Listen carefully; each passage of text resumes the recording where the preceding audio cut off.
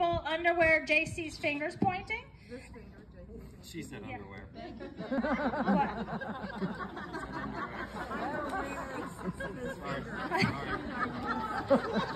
It's right there.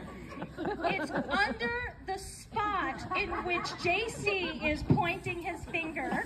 um, and what we really just want to see for um, on the exercises is just if there's any differences in how the dog will or will not work this based on their height, size, um, or even experience level. Because we have Leah will be coming uh, with her dog as well, who's very green. And then we have Mary, whose dog is an Elite 2. Three. Going towards the championship. Uh, she's on on her way to her elite championship. Okay, and then we have uh, Dana Krebling, who's uh, donating Spring, and uh, Spring is a very, very experienced, huh? To the highest bidder. The highest bidder.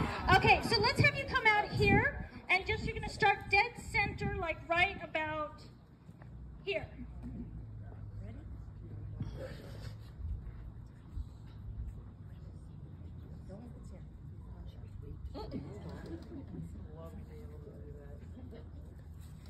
And see if you notice anything, if the wind changes when the dog starts. Did you feel the little pickup in wind just as the dog hit the table? So where I'm standing, there was a little bit of a kick and wind. Would you tell me where? It's dead center of the table. No, no, but Oh, if she, when I should. yes.